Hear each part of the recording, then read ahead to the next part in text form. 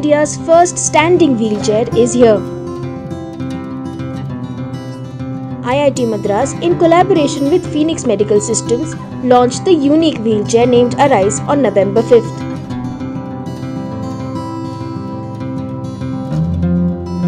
This wheelchair enables persons with disabilities to shift from sitting to standing position without any external support. It is fully customizable while still being mass manufacturable, uh, which is one of the reasons it is so affordable at uh, just 15,000 rupees.